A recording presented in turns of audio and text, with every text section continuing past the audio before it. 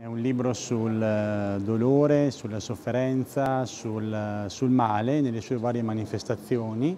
e, e, dunque mi piaceva provare ad indagare questo, questo, aspetto della nostra vita che molto spesso non viene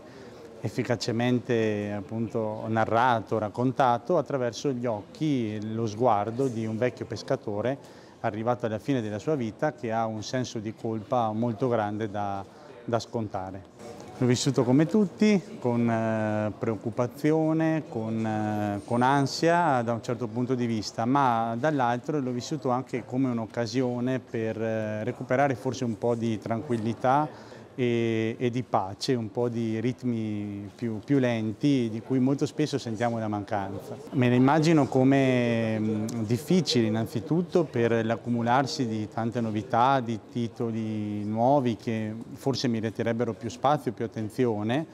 eh, però penso che comunque gli autori e le opere che, che meritano questa attenzione in qualche modo riusciranno a trovare la loro strada.